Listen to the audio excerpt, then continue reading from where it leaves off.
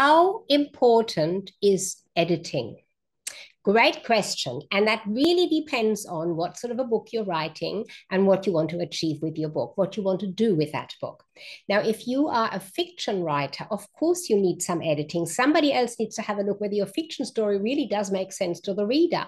And also the way you're writing, does that fit in? Is that consistent? That's something completely different to writing a business book, a book for you to share your experience and your expertise. And perhaps you want to attract people with your book to come to you and work with you. You want to share that knowledge that you have. And there is a purpose behind that as to what you want people to do in response to your book. You write that in a very, very different way. And does it need editing? Depends on how you've actually put chapter by chapter together. So in some cases, you may need, some people may need editing, and some people may just need proofreading.